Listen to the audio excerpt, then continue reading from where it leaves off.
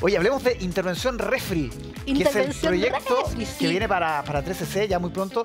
Es chora la idea, porque en el fondo es ir a la, a la casa de, de alguien, abrir el refrigerador y a partir de eso construir, ¿no? Exacto. Construir como la personalidad, qué es lo que come, Como, qué es lo que no come. Dime que hay en tu refri y te diré quién eres. Eso es.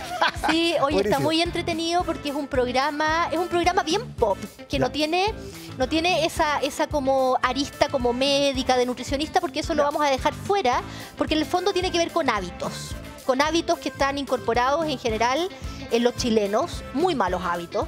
Por ejemplo, Por ejemplo, exceso de comida chatarra, no tomar agua, eh, cocinar de maneras que no son adecuadas, comer demasiado entre medio y después no tener hambre a la hora de comida cuando corresponde comer comida más nutritiva. Entonces la idea es revisar los refrigeradores de las personas, ver cuáles son esos hábitos que se pueden cambiar de manera fácil, amorosa.